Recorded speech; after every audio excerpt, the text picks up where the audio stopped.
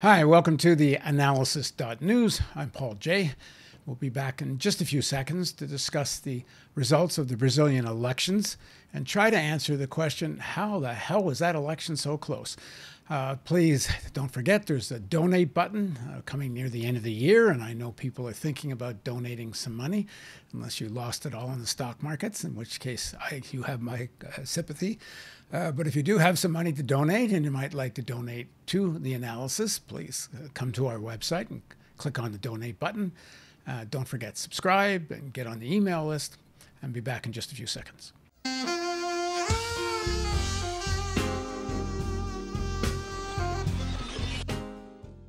So Lula has won the presidential elections in Brazil by a whisker. Maravilhoso, gente! Nós ganhamos, nós recuperamos o Brasil!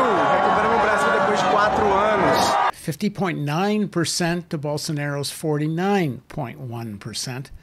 So, why was it so close? Bolsonaro is arguably even crazier than Donald Trump. He mishandled the COVID situation even worse than Trump, if that's possible and his family and many of his allies are up to their eyeballs in corruption. So, why did he come within 2% of Lula and almost get reelected? And given the amount of support this far right politics has, what does it mean for the future of Brazil? Now, joining us to help answer that question is Lorena Barberia. She's a professor in the Department of Political Science at the University of Sao Paulo. Thanks for joining me again, Lorena.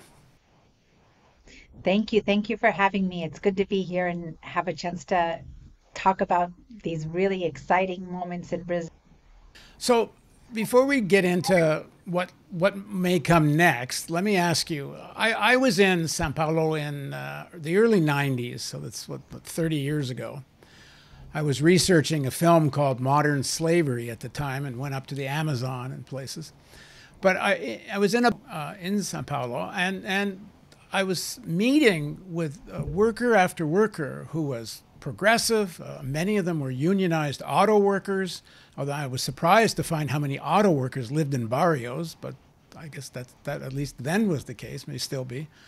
Uh, but the barrios were far from any place that I would have thought could ever have supported Bolsonaro. But after four years of, of Bolsonaro, who, like I said, is probably more batshit crazy than Trump and probably mishandled the COVID crisis worse than Trump, how the heck does he come so close to being reelected? Okay, so we have to let we have to go a little bit a little bit back in history to to understand the present. But I think what's important about what you were talking about about being in Sao Paulo in that period in which which is when Lula starts his political career, is throughout this period, we have kind of very a dramatic and very difficult economic uh, reality in Brazil, especially if we look at the last couple of years.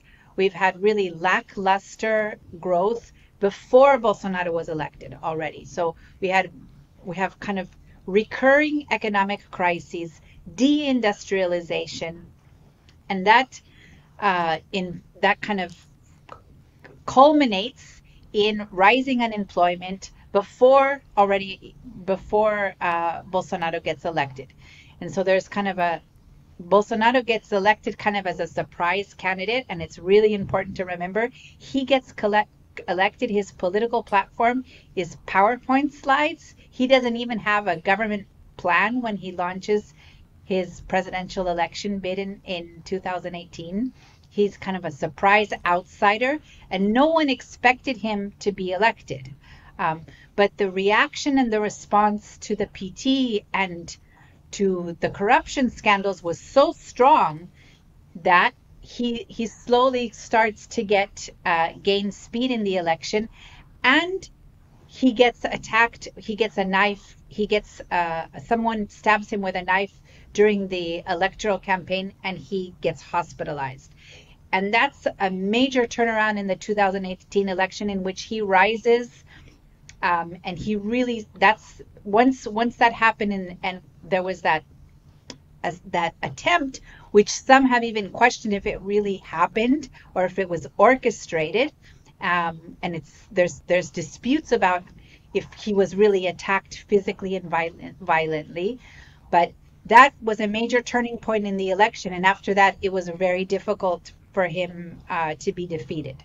And Fernando Haddad comes very, uh, who is the ex minister of education in in Lula's government, came close, but not uh, not he he he the the first he lost in the first round, and in the second round he he lost by 44 he he only earned 44 percent of the votes. And that's the candidate of the PT, the Workers' Party. Yeah.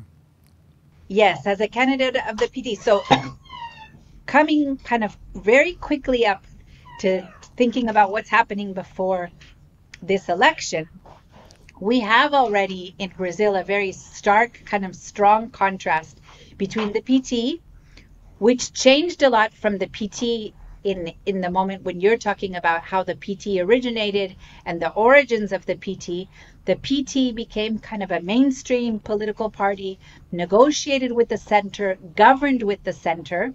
The the vice president in Lula's first and second terms and in Dilma's terms, first term and second term, were always uh, center right parties that they aligned with in order to govern.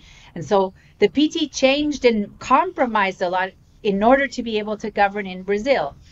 And the in the in the 2018 election, there was already kind of a very strong anti-PT uh, reaction to corruption allegations, and that made it very difficult uh, for the PT to compete uh, and to to make the candidacy. But the other reason was that Lula was denied the opportunity to run in 2018 because of the corruption scandal and he was in jail. Uh, and he, there was a lot of questioning of the legitimacy of the accusations, the legitimacy of the trials, how the evidence was politically motivated and, and used by judges to put him in jail. And so I think that's the backdrop leading up to the to, to 2022. Uh, for people watching, if if you see my earphones just magically popped on my head, it's because I had one of these battery powered things and it just died right right on me. I thought it was okay.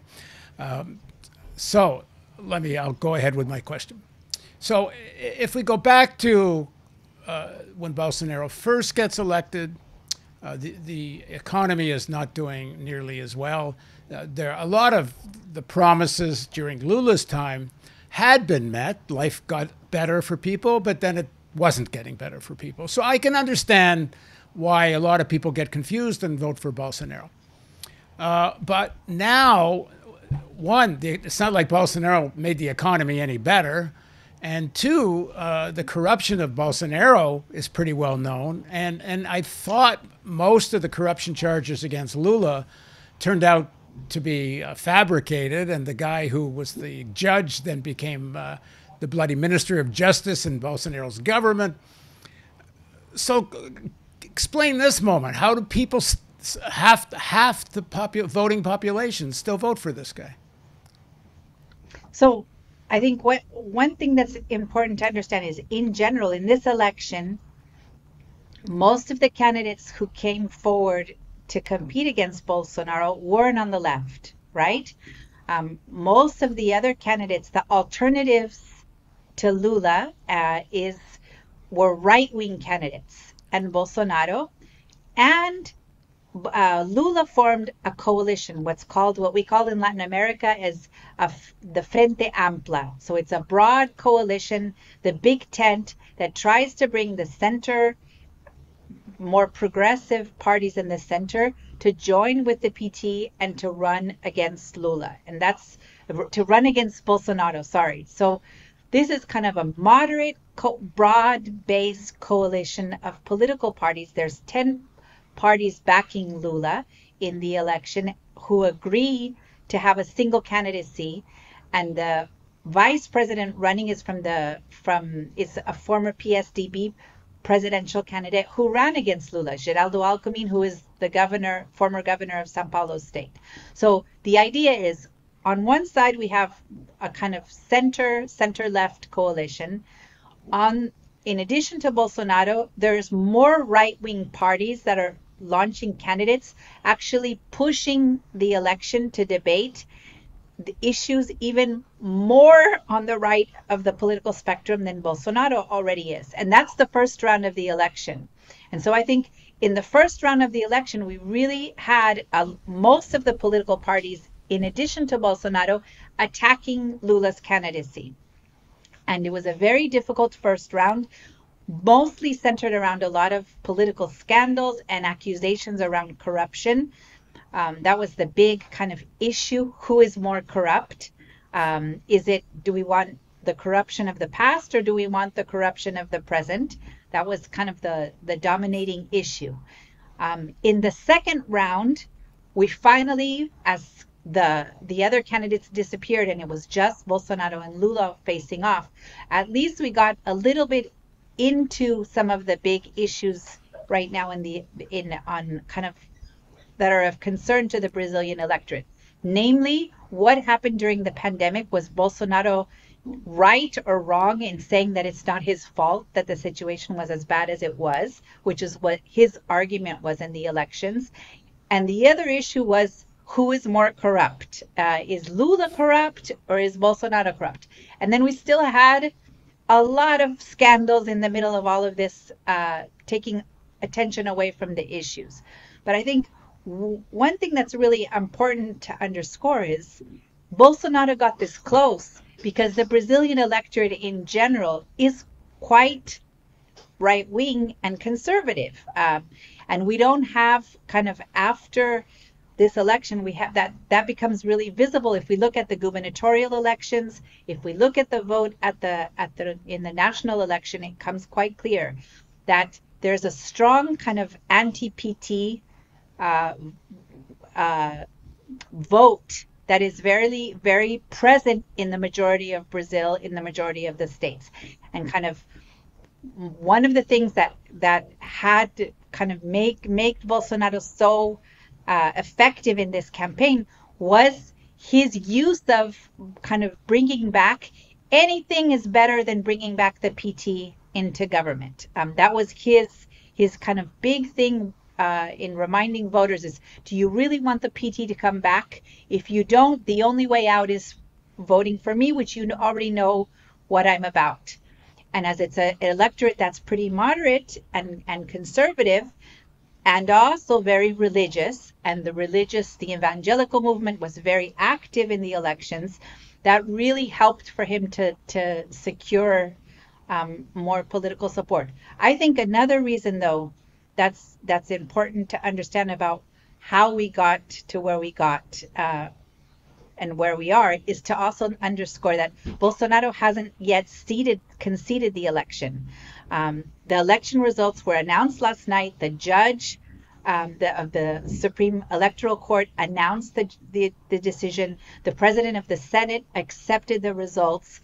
Several of his ministers have come out to acknowledge the results, but he has yet to concede the election.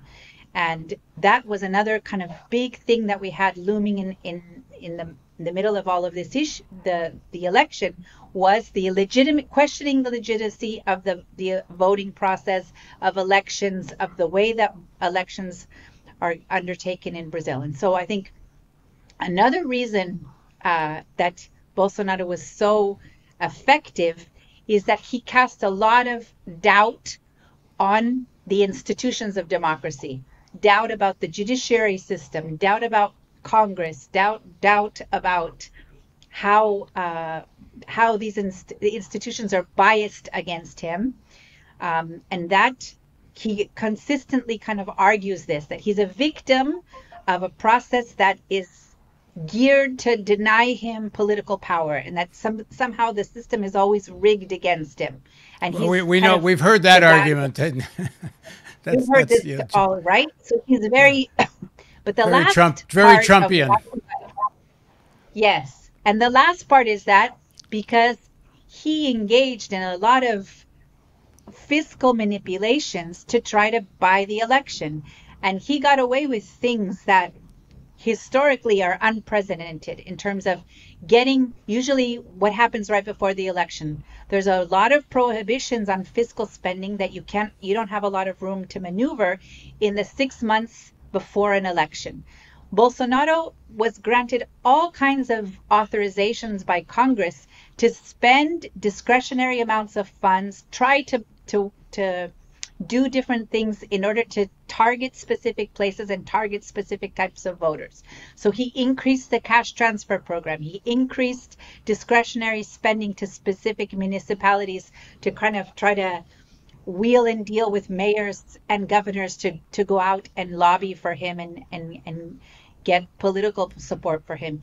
And there was uh, multiple kind of scandals because what what happened is we had a very big corruption scandal around the budget, which basically what happens is he took the he took the budget which is programmatic and converted it in a portion of this budget into a secret budget that is discretionary.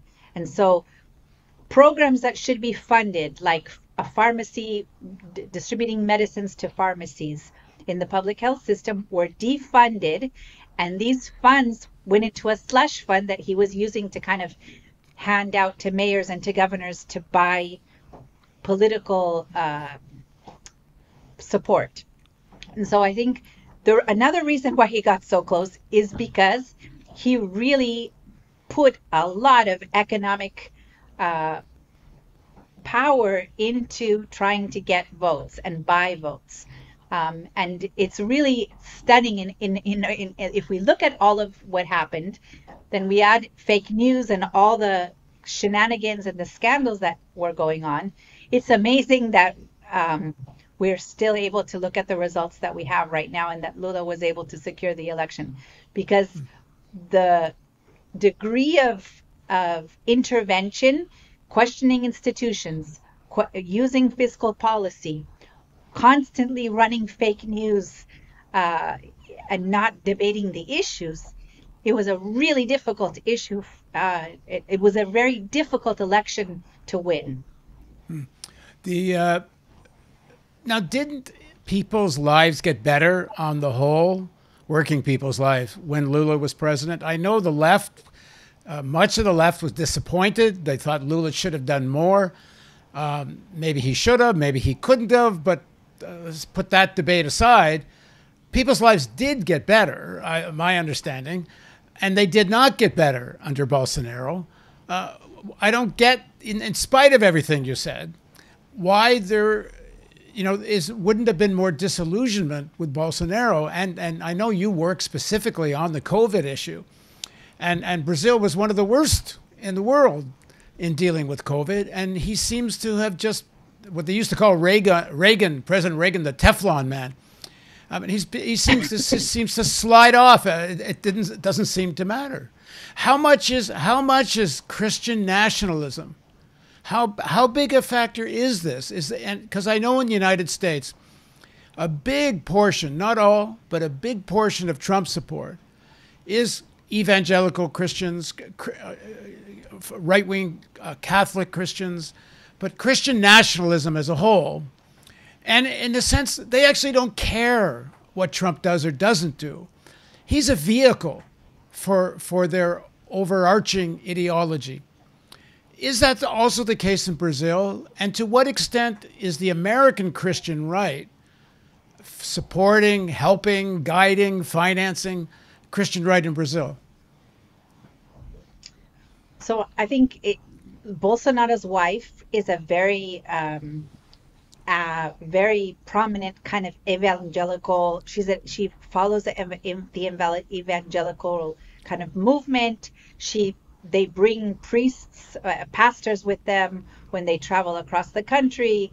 When Bolsonaro kind of accepted initially when he was in, uh, he won the elections in 2018 on the right hand side, he brought a pastor while he read his election acceptance speech. Um, so religion and the evangelical religion has been very, very important, even more important than in, in the US, right? Because you never had Trump kind of bringing in evangelical pro- poster, uh, pastors on Air Force One, traveling around, um, you know, during the campaign, constantly kind of using evangelical pastors in different ways and using the language, even up until the last moments, Bolsonaro was tweeting biblical passages on Twitter, and his wife was as well, kind of trying to set to, to gain sensibilities with the evangelical electorate. So I think it's really important to understand. But in addition to this, um, there is a perception in this kind of I think that this movement is very different from the Christian right in in the U.S. in several instances, right? In the sense that these this even the, this evangelical movement in Brazil has kind of a, a really really different kind of way of thinking about Bolsonaro in a way of kind of he is associated religiously as a symbol, right? Only God can explain that he survived a, an assassination attempt while running in 2018. During the election, Bolsonaro's wife used uh, a lot of analogies to, to make sure that voters understood Lula as Satan and Lula, who is his wife, he's, he was a widow, he's married for the third time in his life.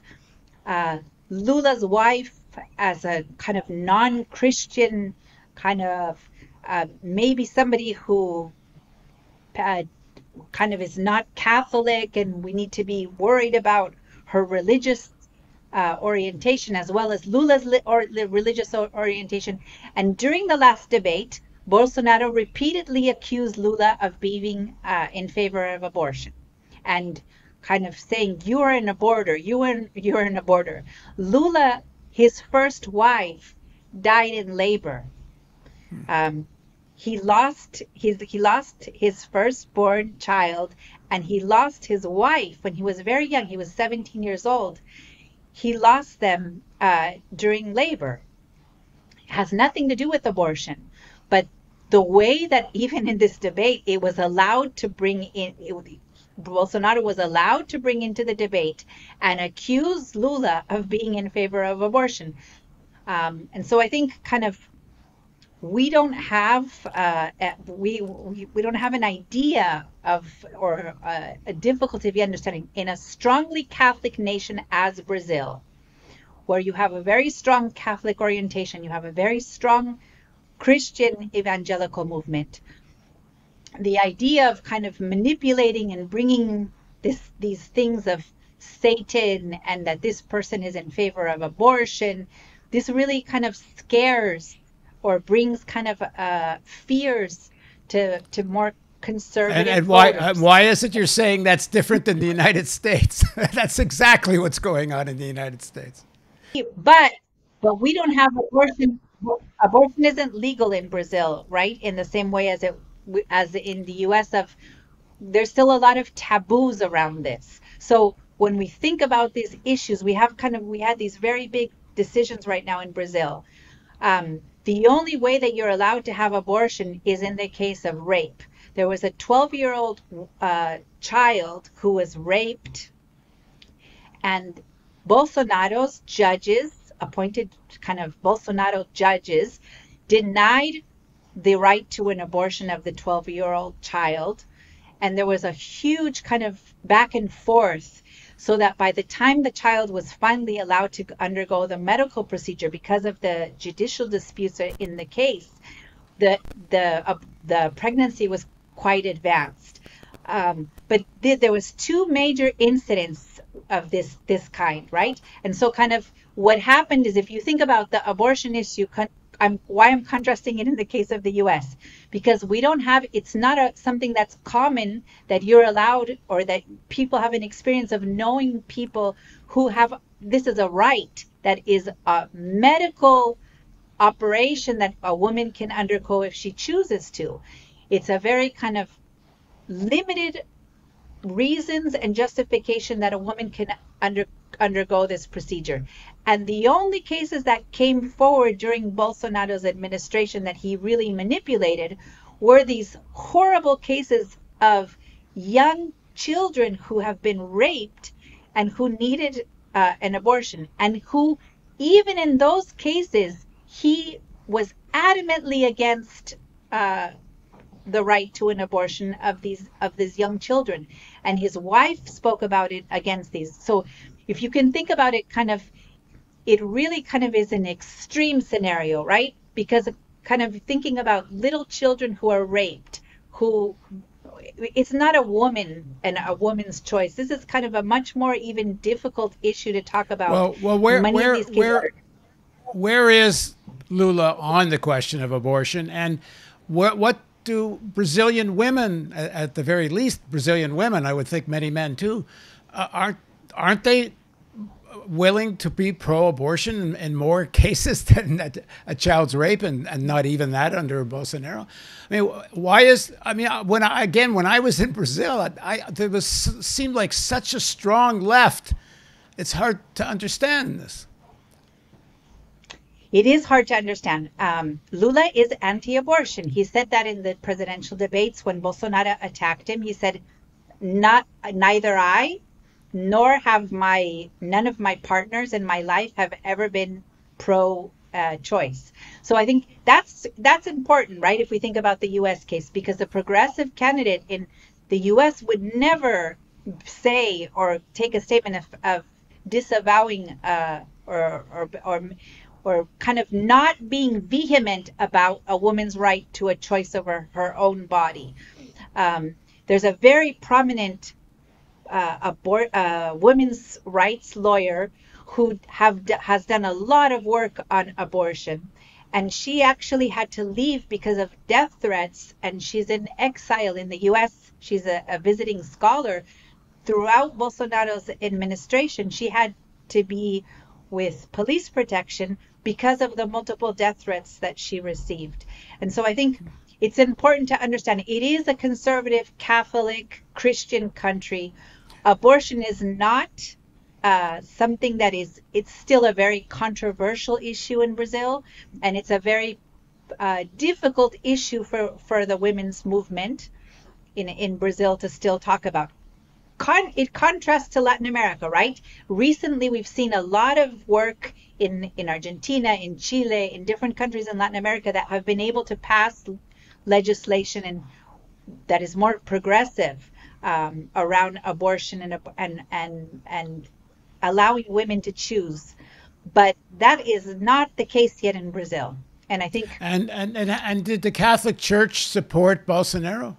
The Catholic Church was divided. Um, we had a lot of priests and and bishops that also came forward and supported Lula. And I think what's important to to also signal is that one of the reasons Lula was able to win and is kind of unquestionable is because moderate women who are political leaders in Brazil, Simone Tebet, who is a senator, she was the MDB candidate in the presidential election. Marina Silva, his Marina Silva, the former his former environmental minister, but who had kind of broke away from the PT and ran as a presidential candidate uh, two elections ago these women who were not initially on board with Lula came on board and became very strong supporters in the last weeks of the election. So once Simone Tebet didn't get enough votes in the first round to be uh, to be the competitor, she quickly kind of embraced Lula, embraced the coalition, became a really huge, huge uh, source of support. The same thing for Marina Silva, and there's also uh, other senators and governors that are women leaders that were really important to to kind of coming on board and and being very very strong political forces uh, in working to win the moderate vote to go to Lula. Um, and, did, and, so I think that that's important. And did the left as a whole more or less support Lula, or was there division there? When it came down to the left final whole, election. Yes. No, the left, the left was was was was supporting Lula and was was backing Lula. The issue that is really hard is to win the middle voters, right? The swing voters and the more kind of moderate voters in the center of Brazil who were supporting Simone Tebet and Ciro Gomes as alternatives to Lula. But um, once the first round ended, there was a lot of, of division. And so, ironically, kind of what, what really Lula needed to do is, even though he already had aligned his vice president is from the center, a center right party, Lula had to continue to kind of get more moderate supporters to get, to win those voters. He didn't need kind of help on the on the left. What he needed is help on the right. Now, one of the things in the U.S. is almost all the big cities are, you know, one way or the other, at the very least, anti-Trump, and and vote Democrat. And, there, and there's certainly a much more progressive vote in the big cities, and it's in the sort of extended suburbs and rural United States where you get support for the Republican Party. But I saw in Sao Paulo the uh, the new the governor is a right wing governor in this massive urbanized city that again I was in, and it seemed like a left wing city back in the 1990s. Yes. So the good news is at the national level, Lula won. But in Sao Paulo state, the largest and wealthiest state in Brazil, with over 40 million people, uh, Bolsonaro's candidate, no kind of history of this political party really being a dominant force in the state.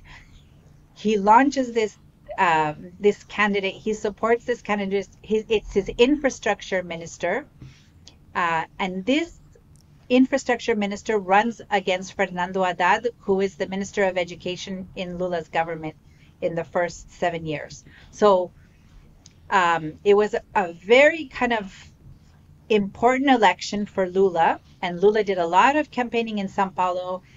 Haddad did a lot of, of work, kind of, he had run against Bolsonaro in 2018. He's a major political figure, but Bolsonaro had Tarcísio de Freitas running in Sao Paulo. And the anti PT reaction in the rural part of the state was really strong. And Haddad was never able to overcome and really secure votes in rural kind of outside of metropolitan Sao Paulo. And, it, and is that a re- is that a religious driven vote?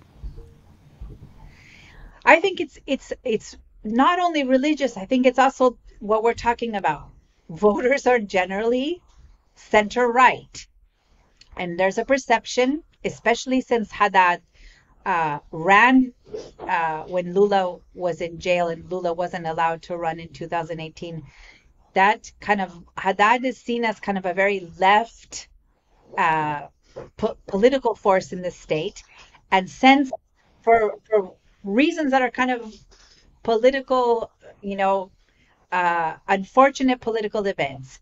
Simone Tebet decided to, to support Lula at the national level, but at the state level in Sao Paulo, she didn't lend support to Haddad. And so Haddad didn't have what Lula had at the national level. The moderate right didn't back uh, the PT in the in the state of Sao Paulo. And so we see the results. Haddad got 46% of the vote. I think 46 or 44. I have to check. But um, that that the big difference that Haddad needed was he needed the center right parties to support his candidacy, and he wasn't able to secure that. And as a result, he lost. Um, so, what are we stuck with, and what people are worried about right now in, in Brazil? Bolsonaro, we still don't know what's going to happen in the transition. How is he going to cede power, and how he's going to acknowledge the election? But the most of the people who are going to leave his administration are going to now probably be recruited to government posts in the richest state in, in, in the country. So by no means Bolsonaro and his coalition and and uh, the, the these people who have done kind of uh, who've been such kind of surprise political forces in Brazil for the last four years, they're not gone. Just because they, they lost at the at the national level, we have to remember they barely lost and they won a lot of governorships, including the richest state in, in Brazil. So they're going to be running in, and they're going to be prominent inside state governments.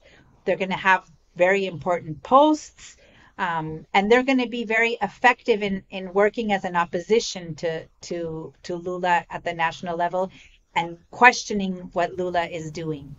Now, it seems that the Brazilian elites, and in fact, the international elites, want a peaceful transition to Lula. Uh, many of Bolsonaro's allies have come out and said, yes, he Lula won the election. Uh, I, am not, not, sure if there's direct public quotes, but I, I, saw some indirect quotes from the Brazilian military leadership who said, yes, this is a legitimate election. Uh, and the same thing happened in the United States. When Trump started looking like he, not looking, tr- I think tried to organize a coup, uh, and this is not just January 6th, as everybody knows that follows my stuff. This is in, in you know the weeks and even months before January 6th. Uh, the preponderance of American elites did not want this disruption. They wanted a peaceful transition to Biden because anything else would be bad for business.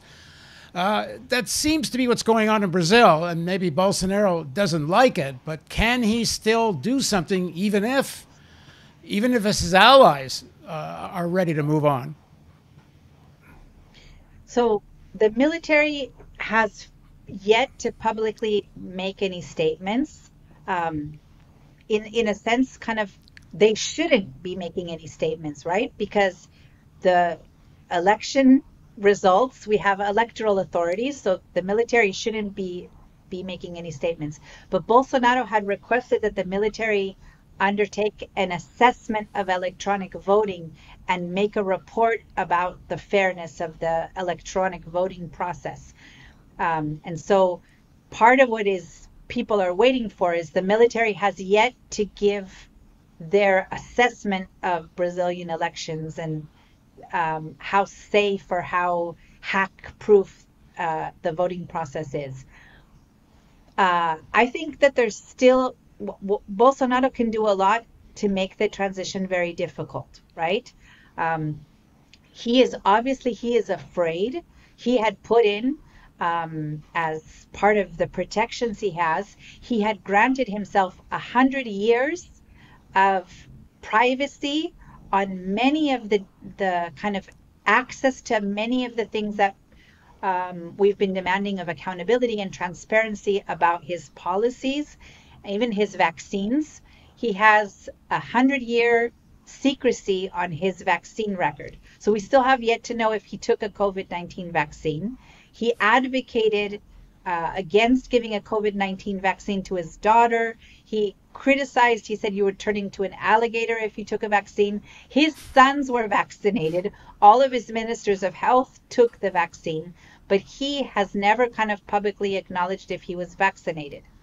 Um, so there's a lot of kind of secrecy around what what he did in um, and and he has granted he granted himself a lot of protections. So there's a lot of kind of of questions we have, which we will only really learn about on January 1st. It's very unlikely, the way things are right now, that there's going to be a transition that his government is going to be meeting with Lula's new appointees and planning the transition. The way it looks right now is that he's going to be very much uh, unwilling to to negotiate and organize the transition and instead what he's going to do is he's going to resist up until the end. That's one scenario. The second scenario some people have have hypothesized bolsonaro will leave early will leave office early. So given the results, given how frustrated he is with the results, he might renounce. Um, but in either of those scenarios, what's important to understand is that the next three months, uh, until the the new president takes office January 1st, there's going to be a lot of volatility, uncertainty. It's a moment where a lot of different programs are going to be interrupted because government is not working normally. And importantly, something that we saw in the last weeks of the election, the role of the police has been very, very, uh, very concerning, right? Um, a lot of off duty policemen have been involved in incidents that are really questionable right now about what happened. Tarcísio de Freitas, for example, was in a neighborhood uh, visiting a neighborhood, a very poor neighborhood in Sao Paulo, when uh, for for reasons that we still don't understand, a man was killed. We still don't know who killed that man, if it was somebody in Tarcísio de Freitas' team, or if it was police who killed him, or if he was killed by someone else uh, in the neighborhood. But Tarcísio de Freitas asked the off duty policeman in his team to delete the evidence on the cameras that were filming the incident in order to to not allow investigation. We had a congresswoman, congresswoman this weekend who was chasing a black journalist who was off duty but who was arguing with her on the streets. She chased him with a gun in different streets in the city uh, over a, a, dispute about the elections. Um, she wasn't arrested, and she was with a off-duty policeman who actually fired shots against the journalist uh, during the dispute. The uh, the there have been reports of voter voter suppression. How significant was the voter suppression? And so there's reports. We still don't have enough data to know how big uh, the voter suppression was in how many different municipalities because it looks like it was mostly uh, something that happened more in poor municipalities, rural municipalities, where it's harder to kind of see huge numbers of differences in, in voter suppression.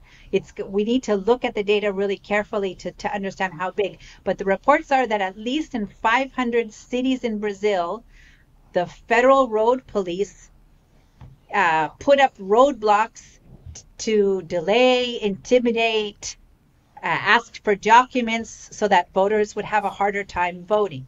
Um, so there's a lot of evidence that on-duty and off-duty police officers who, in large, uh, in a large extent, Bolsonaro supports. He's uh, kind of very kind of prominent in making an alliance and saying that he's very supportive of the police. That the police are also supporting Bolsonaro, and so I think that is really worrisome for like the daily life of Brazilians right now, right? In poor neighborhoods in Brazil, people who will be stopped and who might even be killed without a due process, without law enforcement, without um, without kind of all of the guarantees that they should be offered if they're under suspicion because of what's going on right now politically of this kind of vacuum and this uncertainty but also this this idea of going after your opponents and you being kind of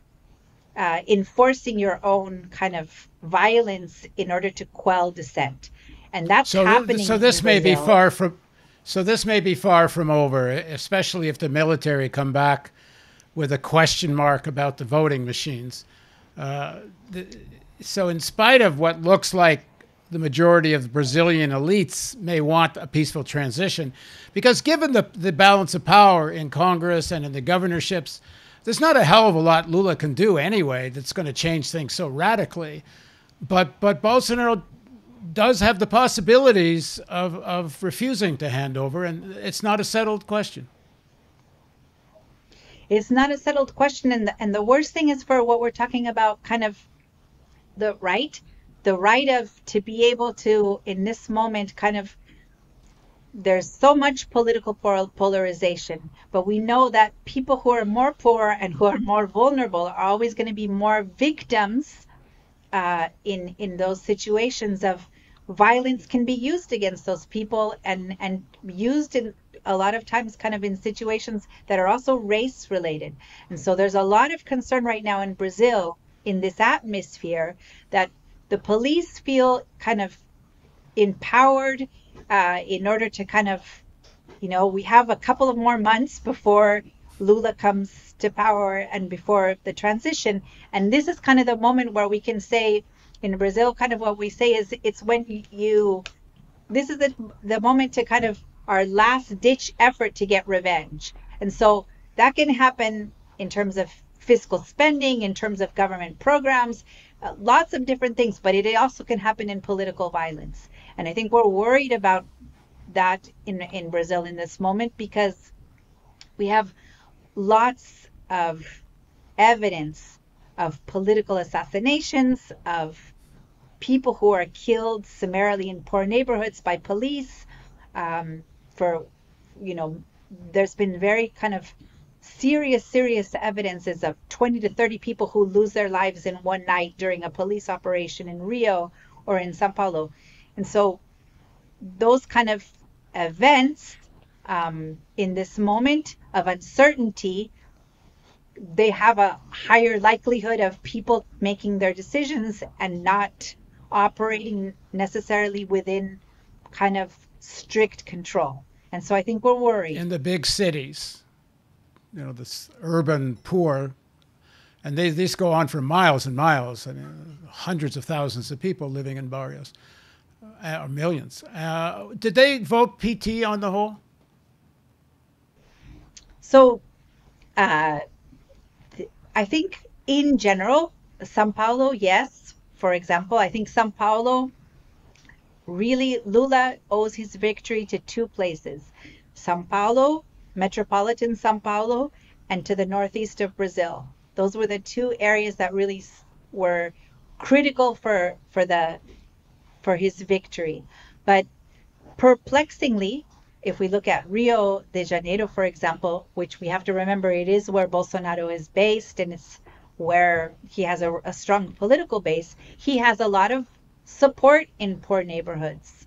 Um, and one of the reasons that he has political support is also because soccer players in Brazil, which everyone knows have are very important for for young people and, and in in the imagination of Brazilians, especially as we're on the eve of a World Cup a lot of soccer players endorse Bolsonaro. One final question, which maybe we can dig into more another time, but just quickly to what extent did the American Christian right support and get involved with the Brazilian Christian right? Because I know, like in Europe, Steve Bannon has been running around Europe trying to mobilize the far right of Europe. Um, they, you know, if it wasn't for the Russian invasion of Ukraine, uh, Putin was one of their heroes. And Bolsonaro was, you know, is also considered a hero of the Christian American Christian right. Uh, do they have they been involved? Um, it's very difficult to know the extent to which they've been involved, right? Um, I think Steve Bannon, we know, has a lot of contact, and he's he was he was consulted and he worked a lot on advising Bolsonaro. But as he was in right, you know, being detained in the last couple of months, it's not clear as clear how much, for example, personally he was involved in following and in uh, consulting on the Brazilian election. But I think that there's a lot of evidence that we have, and it's not only the American Christian right, but also the right across Latin America that there's a lot of uh, liaisons that have been made. So Bolsonaro's sons, for example, traveled to Argentina to meet with extreme right wing candidates in Argentina on the eve of elections. Uh, there's a lot of uh, this. This is a network, and this network reaches out, follows each other, helps each other to kind of mobilize and, and use social media and, and the different tactics are quite common in these groups. And it's not only the, the danger, I think, is that it's not only in, in the US, it's in several countries in Latin America. We have similar kind of tactics and, and networks that are uh, active and they work to support each other. All right, that's great. Thanks very much. And and okay, uh, in a few in a few weeks we'll do it again. We'll see uh, whether there is a transition of power one way or the other. Uh, thanks again. Okay. Thank you Thank for. You. Uh, again, please don't forget uh, the donate button. We're getting near the end of the year. You're considering whether to donate. Uh, so we are a 501c3 in the United States. we're not. we don't have charitable status anywhere else, but we do in the U.S. Um, if you like what we're doing, we can't keep doing it without your support. Thanks again for joining us on the analysis.news.